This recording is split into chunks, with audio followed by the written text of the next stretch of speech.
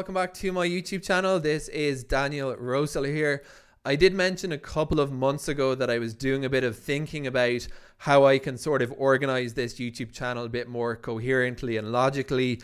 And I explained that I was thinking about splitting up the channel into a few splinter channels.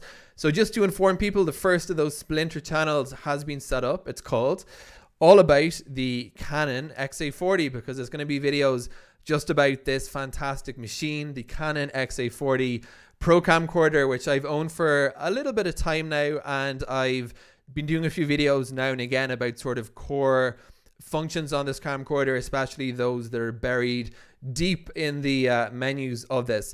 I know a few people have told me they've subscribed to me just to get those videos about the XA40, so I thought this was a logical topic to split out into its own channel. So if you are an XA40 owner and that's why you're watching this video, then I will put a link to the new channel in the description and maybe in an about card.